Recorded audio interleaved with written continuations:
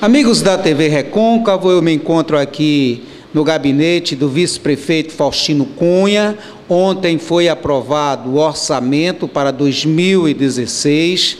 O gabinete do prefeito terá uma verba de 1 milhão e 800 mil reais. E a verba de gabinete do vice-prefeito de Santo Antônio de Jesus é de 3.500 reais, a verba anual. Geralmente as pessoas dizem que o vice-prefeito não tem tinta na caneta. E quem tem tinta na caneta é o prefeito. E isso não foge à regra em Santo Antônio de Jesus. O que você vai fazer com a verba de gabinete de R$ 3.500, vice-prefeito Faustino Cunha? É, vice-prefeito é figura decorativa. É em uns certos casos. Em outros, ele ajuda a administrar, ele tem conhecimento da história, ele tem conhecimento do que vai acontecer, ele tem planos com o prefeito, mas não foi meu caso nessa gestão. Apesar de me, me dar muito bem com o prefeito, tenho nada a dizer contra ele, mas não fiz parte do governo. O senhor não foi consultado para nada, uma indicação de um secretário, de um diretor? O senhor, o prefeito nunca lhe chamou para é, lhe contemplar com algo, ou então para conversar, diz, Faustino, vamos administrar a cidade, meu plano é esse. É, como é essa relação para a administração do município entre prefeito e vice-prefeito? A relação entre eu e Humberto é muito boa. Eu, é, por exemplo, eu tenho um, é, uma, uma consideração a Humberto, nós, ele nunca me prejudicou em coisa alguma. Agora, nunca me chamou nunca me disse, eu vou nomear agitado secretário. O que é que você acha? Eu, por exemplo, não teria poder para dizer, não nomeei, ou nomeei, ou vamos fazer isso, ou fulano é melhor para ir para o lugar de ginásio do que ginásio. Tudo isso é possível quando há um diálogo entre o vice e o prefeito. Mas não foi meu caso de São Antônio Jesus. Ele nomeou o secretário, eu não sabia que era que ele ia nomear, e como também, quando foi demitido, nunca me disse, eu vou demitir fulano. Então, é, o que eu quero dizer a você é o seguinte, eu me tornei aquela, é, é vamos dizer, aquele é, garoto de auditório que fica para bater palma porque está acontecendo, ou bom ou ruim. Mas eu não tenho nada de mágoa disso, política são essas coisas mesmo. Enquanto eu achei humilhante R$ 3.500 no meu gabinete. Não é que eu vá gastar. Não gasto, ele, ele mesmo sabe. Eu até não sei que é 3.500 cruzeiros, também nem sei diretamente para dizer a você, pela falta de, de, de, entrosamento. Eu não sei que essa verba eu gastaria em quê? Se diária, ou, ou com funcionário, ou, ou com papéis. É, efetivamente a verdade é essa. Vou fazer uma contazinha aqui básica. Isso dá menos de 300 reais por mês e dá menos de 10 reais por dia. O que um vice-prefeito pode fazer é com uma verba de menos de 10 reais por dia? É, não tem como o gabinete atender coisíssima nenhuma, o gabinete do vice-prefeito, porque não tem condições com menos de 10 reais por dia, é, por exemplo, para nem para é, fazer a higiene do gabinete não tem, ou seja, comprar produtos higiênicos para é, fazer a limpeza do gabinete. Isso eu achei, não achei ruim não, porque era 3.500. Achei uma humilhação, porque se ele botasse 100 mil, porque a verba do gabinete, é, ou qualquer verba pública do município, só sai quando o prefeito assina um cheque. Então, se ele tivesse uma verba de 200 mil e eu estivesse dando 10 mil de dados, está errado, ele não assinaria o cheque eu estivesse gastando 20 ou 30, reais, 30 mil reais com aquilo, que não fosse. Porque tudo precisaria da autorização do prefeito. Da autorização e assinatura.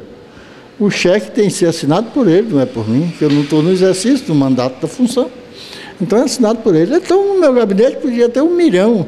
Eu, inclusive, já, tive, já tirei verba aqui do gabinete para o serviço da prefeitura, porque na verba, no gabinete do, do prefeito não tinha dotação.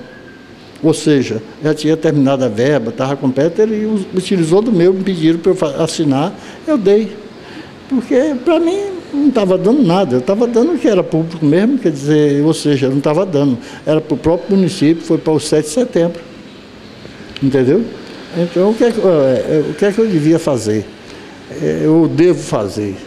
É, se tiver aqui uma verba de 200 ou 300 mil, não saía um centavo que não fosse em benefício do município. E com a chancela dele, porque é quem assina o cheque. Então, para mim, isso não quis dizer nada. Eu acho que se ele botar zero para mim, dá no mesmo. Tirar os 3.500, deixar em zero, não quero dizer nada, não. Eu vou viver. Quando eu, por exemplo, ajudo alguma pessoa, assim, às vezes a gente ajuda porque o carente é, e já dizia Louisiana, que o problema desse país é o carente. Então o carente nos procura, nos aperta, nos pede, porque efetivamente é carente. Eu, às vezes, quando posso servir, sirvo dentro das minhas condições. Não de vice-prefeito, nem pensando em ser vice, porque sou vice-prefeito, porque vou querer voto, não. É por uma questão, tanto faz eu ser vice-prefeito, como não ser vice-prefeito, se eu puder servir alguém, até dependendo do pouco dinheiro que ganho como funcionário público, eu usarei para beneficiar qualquer pessoa que esteja dentro das minhas possibilidades.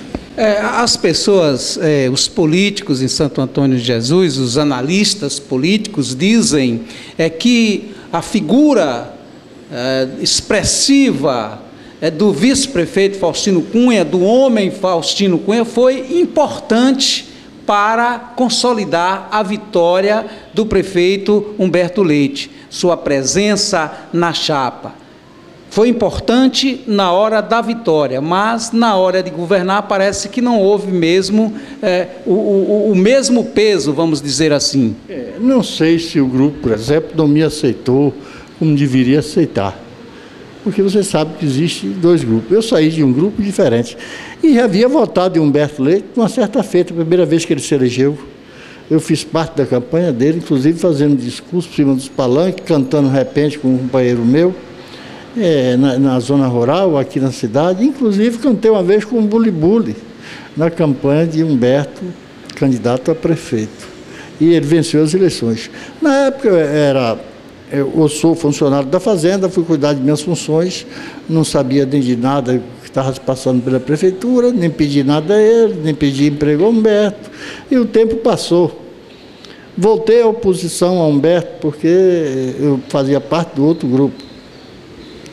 Continuei fazendo oposição a Humberto, ele perdeu duas eleições, parece, ou três, não sei bem, assim, não estou lembrado, mas aí quando o Rogério, eu muito ligado a Rogério, quando o Rogério se manifestou que seria contra o grupo que ele fazia parte, que me convidou, e eu era presidente do partido dele, como sou do PSD, sou presidente do partido dele, achei que seria uma ingratidão minha eu deixar Rogério sozinho.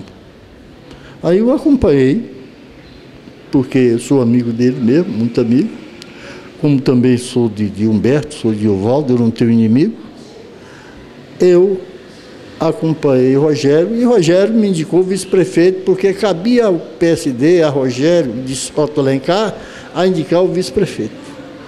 E foi, Rogério explorou outros nomes, que eu queria ser vereador, mas depois um amigo meu, Luiz da Granja, disse, tem de ser você, e exigiu, eu fiz questão, de, Luiz, não, olha, se não for você, eu me retiro da campanha.